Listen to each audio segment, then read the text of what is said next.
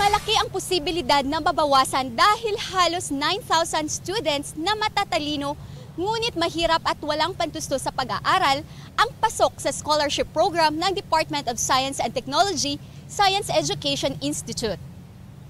Sa website ng DOST-SEI, sinasabing 8,994 ang tatanggap ng libreng matrikula, may round trip na pamasahe kung ang mag-aaral na ito ay galing sa probinsya at 7,000 pesos allowance kada buwan.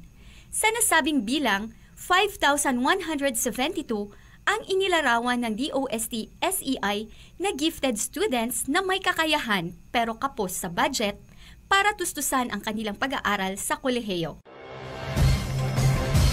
Samantala, Dennis, nasa 3,822 namang estudyante ang pumasok sa Merit Scholarship Program ng nasabing ahensya. At yan ang ating good news para sa DZRH Network News. Christine De La Cruz, naglilingkod sa pagbabalita. Balik sa'yo, Dennis. Para updated ka sa mga ganapan sa loob at labas ng bansa, mag-subscribe sa DZRH News Television YouTube channel.